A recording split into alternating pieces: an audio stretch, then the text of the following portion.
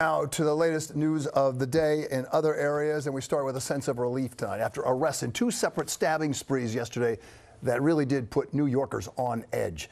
Today, New York cops say they caught the man wanted for stabbing two people in the subway, one in Columbus Circle, the other in the Bronx. Meanwhile, the man charged with stabbing five people in Queens now also linked to a stabbing yesterday on a subway in Brooklyn. Cops arresting Jermain Rigueur last night after a citywide manhunt. Let's get the latest. Eyewitness News reporter Lauren Glassberg live at the courthouse in Kew Gardens, where Rigueur is expected to make his first court appearance soon. Lauren. Yeah, Bill, that arraignment is expected sometime after 5:30 tonight, and Jermain Rigueur is facing a number of charges, including attempted murder, assault, and criminal possession of a weapon. And yesterday, when this suspect allegedly stabbed three people all before 10 in the morning, the NYPD ramped up its efforts, mobilizing in a very big way to catch their guy. Police say this is the man who terrorized New Yorkers. 27 year old Jermain Rigueur randomly stabbed a half dozen people over the course of nine days. He attacked six individuals.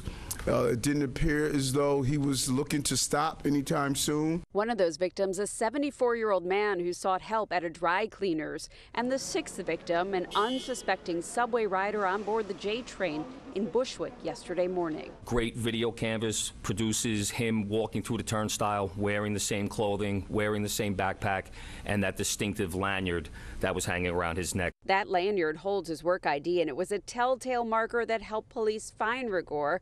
They arrested him last night as he returned to his home in Springfield Gardens, just blocks from where some of the attacks took place. Ultimately, it came down to basic detective work, chasing down leads, knocking on doors.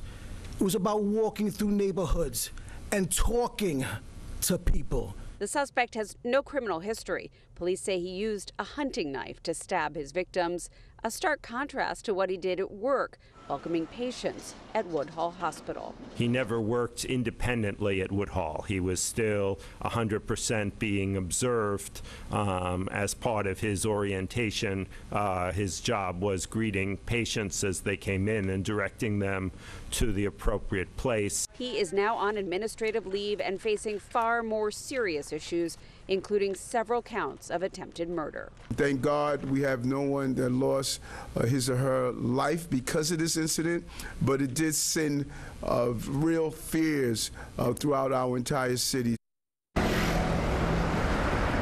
And police say in five of these stabbings, there was no clear motive. In one case, a dispute over a seat on a bus may have led to a stabbing. The victims, they range in age, in gender, and ethnicity, so there seems to be no clear target or specific kind of person he was aiming for, but his victims likely had no idea of what was about to happen to them.